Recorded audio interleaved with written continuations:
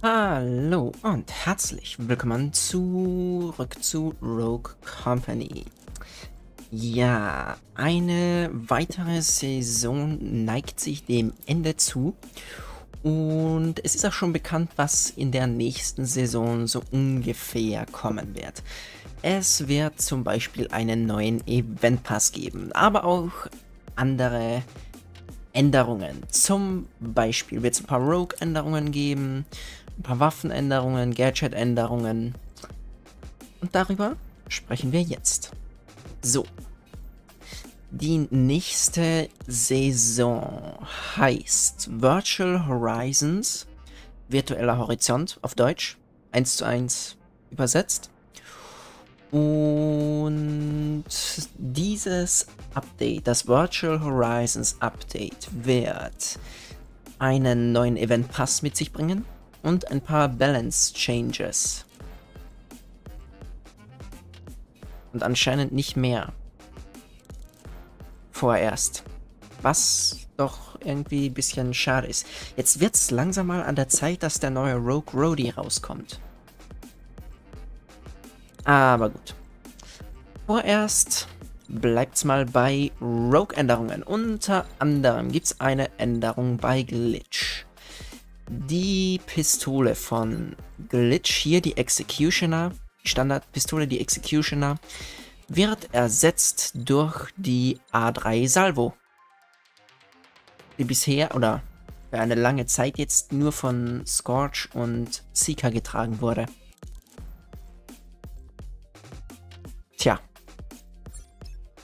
Und das war's mit Glitch.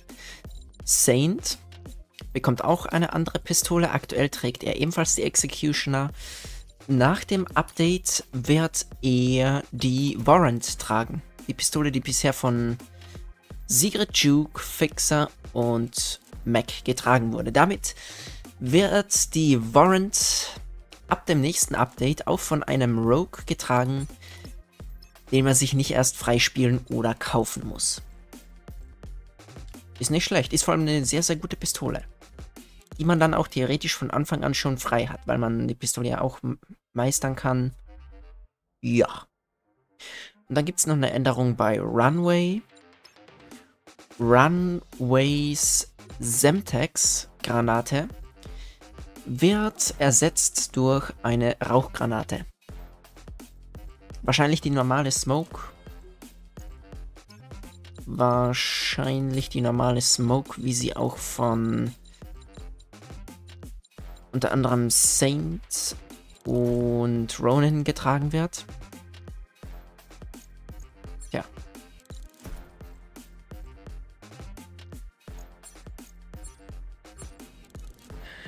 Und das waren die Rogues. Dann gibt es ein paar Waffen- und Gadget-Änderungen. Die HRM 30KS, das ist hier Trenches Sturmgewehr. Äh, Trenches und Dallases wieder Sturmgewehr. Das... Der HRM 30KS bekommt einen, ja, kleinen Buff. Der Körpertrefferschaden wird erhöht von 24 auf 25.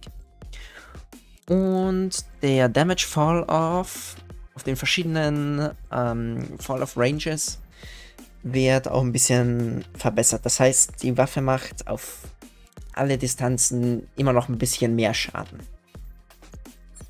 als aktuell. Dann gibt es eine Änderung bei der D40C. Das ist hier die Maschinenpistole von Chuck und Sigrid.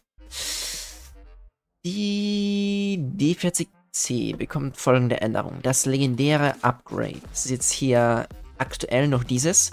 Erhöht Reichweite und keine Treffersicherheitseinbußen beim Springen. Treffsicherheitseinbußen. Mein Gott, schwieriges Wort. Ähm, dieses Upgrade wird ab sofort das Magazin auf 50 aufwerten. Aktuell hat die D40C durchgehend ein Magazin von 50, also 50 Schuss. Äh, das werden sie jetzt aber wieder zurückändern, dass sie standardmäßig nur noch 40 Schuss hat. Macht auch irgendwo ein bisschen Sinn, die 40C. Ähm, ja, sie wird standardmäßig 40 Schuss haben und erst das legendäre Upgrade wird machen, dass sie 50 Schuss hat. Und dieser, diese Treffsicherheitseinbußen beim Springen, dass das wegfällt, das bleibt auch noch beim legendären Upgrade erhalten. Was aber wegfällt, ist die erhöhte Reichweite. Die wird, die wird hier komplett rausgenommen.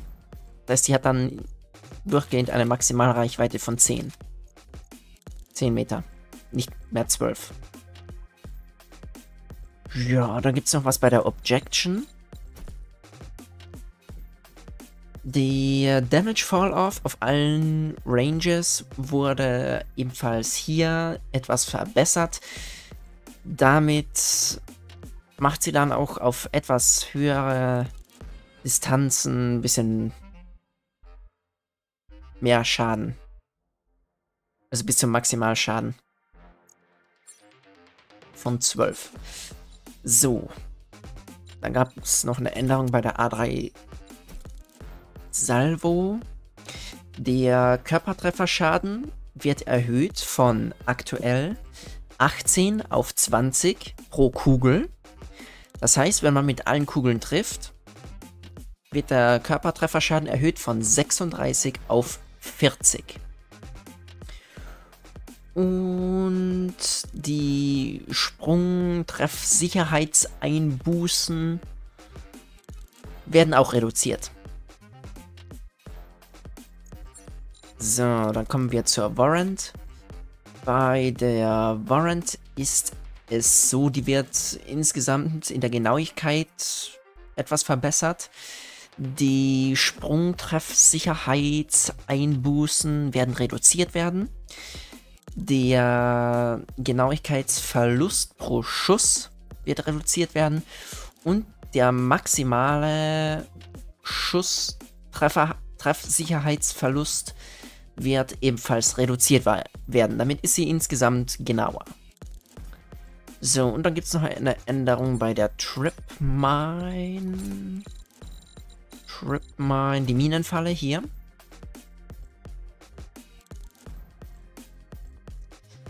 Das ist die Minenfalle. Der Standardschaden der Minenfalle wird reduziert von aktuell noch 120 auf nach dem Update 100 Schaden. Und die Effektivitätsrange der Explosion wurde auch ein bisschen dem Gadget an sich angepasst. Ja. Und das war's. Mehr wissen wir noch nicht vom nächsten Update vom, vom, vom Virtual Horizons Update. Mehr dazu gibt's dann hoffentlich. Äh, sobald das Update draußen ist, was denke ich morgen der Fall sein wird. Weil heute, an dem Tag, an dem ich das hier aufnehme, kommt das, also kommt voraussichtlich. Nee. Heute, an dem Tag, an dem ich das hier aufnehme, kommt nichts raus. Morgen kommt es raus. Morgen kommt das Update raus. Dann wird das Spiel wahrscheinlich, also das Update wird so, denke ich, um meist nicht zwischen 13 und 15 Uhr rauskommen. Dann wird das Spiel wegen Server Maintains noch ja, wieder ein, zwei Stunden nicht zu spielen sein. Aber wenn es noch ein paar genauere Update-Infos gibt, dann werde ich die auch nochmal in, einem, äh, in einem extra Video hochladen. Bisher ist das bisher genannte aber das einzige, was wir über das nächste Update wissen. Und ja. Wenn es euch gefallen hat, schaltet auch beim nächsten Mal wieder ein. Ciao.